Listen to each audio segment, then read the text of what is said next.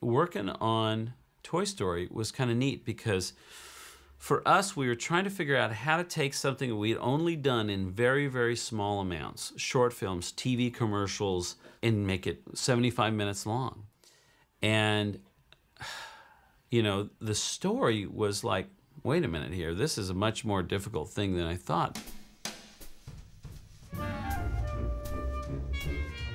When we started with Disney, they had people who had had a lot of experience making films, and they had been through it. They knew what to do. So we looked to them as initially as they're going to school us. They're going to teach us how how to work. Uh, here's like the first year on the film was like we would board a sequence and then Tom Schumacher and Peter Schneider would fly up and they would give us tons of notes on the boards, changes to make, ways to improve it to make it better. And then we would crank, turn around those notes, and then we'd fly down to Disney pin up our boards, and they'd give us more notes. And we'd even make changes that night. And then, like at 6 a.m. or 7 a.m. the next morning, very early mornings, we would pitch it to Jeffrey Katzenberg. And then he would rip them all apart. Jeffrey Katzenberg, who at the time was, was chairman of the Disney Studios and had great interest in animation, um, would always be pushing for what he called edge. And the Woody character became wildly unappealing at one point. Uh, Woody? Now what? Uh, Woody, I, I'm having a little difficulty. Slink, how hard can it be? We assembled this first, it was like maybe first half of the movie on story reels. And then we went down to Disney to screen it.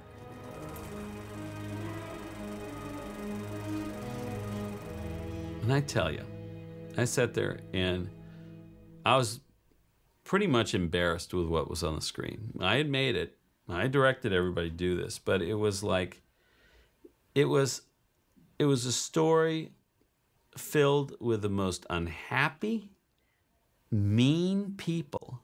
Where? No! All right, all right, all right! Save your batteries, people! Jeffrey said, Well, why is this so terrible? to me in the hallway. I said, Well, because it's not their movie anymore. We've, it's completely not the movie that John set out to make. Everything kind of fell apart at that point, you know.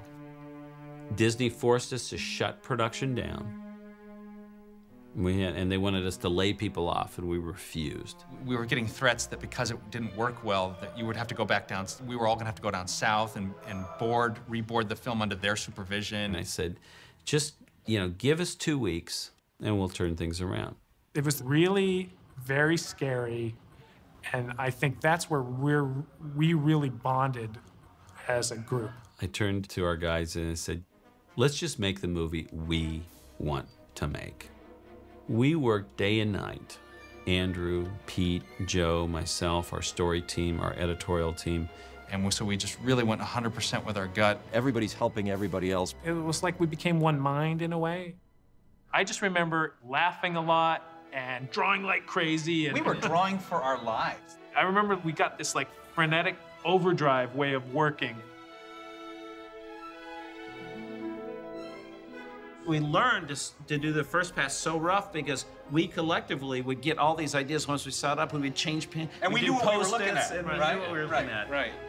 The Yeah. other thing that was really important for me after that Black Friday screening was to make Woody likable. It was a real education in just filmmaking for us that like just because a character is has a problem or he's even not a likable person doesn't mean that they have to be an unlikable person on the surface. Right, because our goal was to make Woody so likable. Then when he started kind of becoming a jerk, it was like, oh, Woody, don't make those choices instead of, what a jerk. I don't care about this guy. It's not always bad in this process to have things not work. When you have these crashing things that happen, the rebuilding allows the thing to be so much better.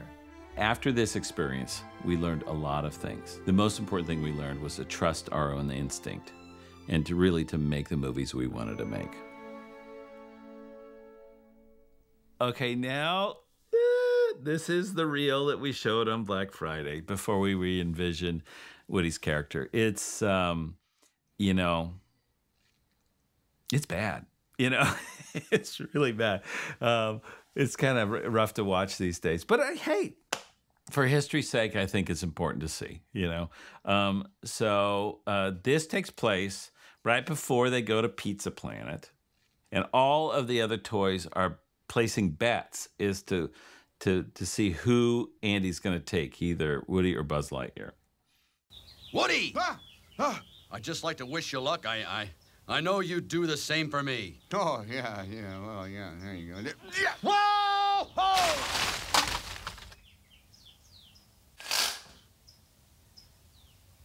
What? What? What? What? What? What are you? What's everybody looking at? What? Hey, he slipped. I tried to. He. I couldn't hold that. It was an act. He slipped. Hey, I don't see him. I think he fell onto the street.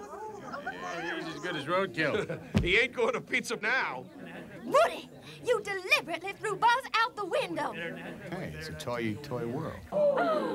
Cowboy, where is your honor, dirtbag? You are an absolute disgrace. You don't deserve to wear a 10-gallon hat on your pint-sized head. Men, search and rescue. I want a medevac team on the double. Hustle up. Move it, move it, move it. Hey! Hey, spuds for brains. what do you think you're doing? Off the bed. Hey, off the bed. You gonna make us, Woody?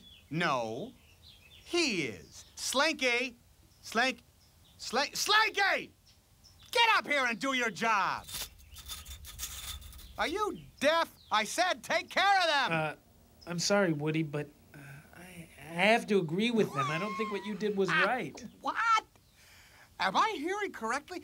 You don't think I was right? Who said your job was to think, Spring Wiener? Well, I, I just, thought that use you this vast reserve of brain power to consider this for a moment. If it wasn't for me, Andy wouldn't pay any attention to you at all. In fact, my stretchy friend, you would have been hauled away to Goodwill a long time ago. So shut your mouth and get them off the bed. Do it. Now, Slink, or I'm throwing you off. You're gonna have to throw the two of us off. Make that three.